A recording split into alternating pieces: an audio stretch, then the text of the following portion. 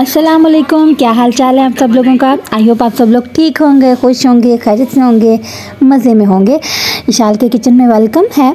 आज इशाल के किचन में जनाब हम बताने जा रहे हैं कि आप घर में वेजिटेबल अचार, सब्जियों का मिक्स अचार कैसे बना सकते हैं? बहुत ही आसानी के साथ। तो बगैर टाइम वेस्ट किए जल्दी से बढ़ते हैं अपनी रेसिपी की जाने जी जनाब तो सबसे पहले हमें सब्ज़ियाँ चाहिए। आप अपनी पसंद की सब्ज़ियाँ भी ले सकते हैं जिनका आपको अचार डालना है। ठीक है लाइक यहाँ पर हमने ले ली है मूली ले ली है, गाजर ले ली है, हरी मिर्चें ले ली हैं, लीमू ले लिया है फूल गोभी ले ली है, मटर ले लिए हैं, लहसुन ले लिया है।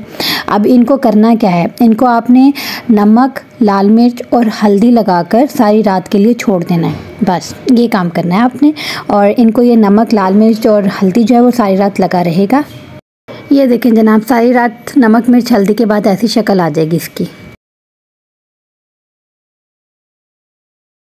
इसके साथ जनाब हमें चाहिए कलौजी चाहिए, सूखा धनिया चाहिए, ज़ीरा चाहिए, लाल मिर्च चाहिए और मेथी दाना ठीक है?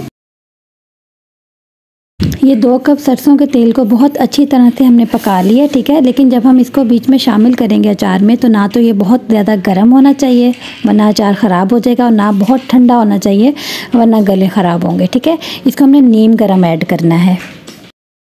चलें जनाब, अब हम अपनी मिक्सिंग स्टार्ट करते हैं मिक्स सब्ज़ी अचार के लिए। इसके लिए सबसे पहले जो सब्ज़ियाँ जिनको हमने रात सारी छोड़ दिया था, नमक, मिर्च और हल्दी लगाकर, वो मैंने तसले में निकाल ली हैं।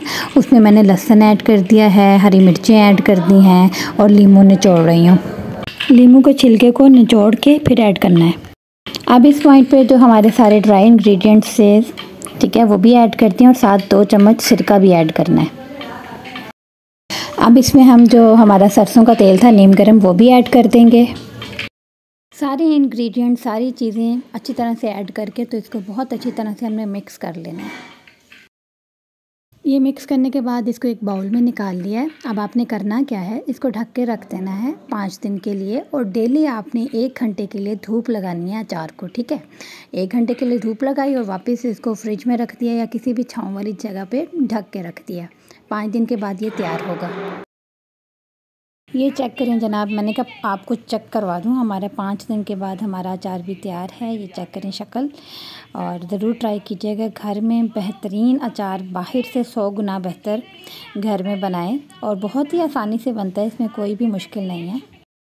इस तरह के जार में डाल के आप किसी को भी ऐसे गिफ्ट भी कर सकते हैं, बहुत ही अच्छा आइडिया किसी को भी गिफ्ट करने के लिए ओके और सबसे बड़ी मज़े की बात यह है कि आप बहुत सी सब्ज़ियाँ जो कि सीजनल नहीं होती, ठीक है?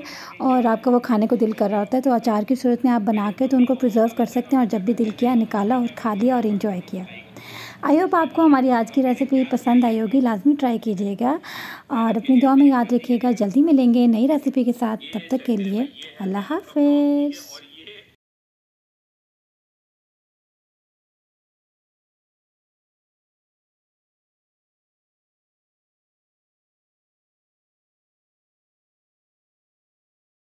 आई होप आपको हमारी रेसिपी अच्छी लगी होगी। ज़रूर बनाइएगा और हमें बताइएगा। अपनी दुआ में याद रखिएगा। जल्दी मिलेंगे नई रेसिपी के साथ। तब तक के लिए अल्लाह हाफ़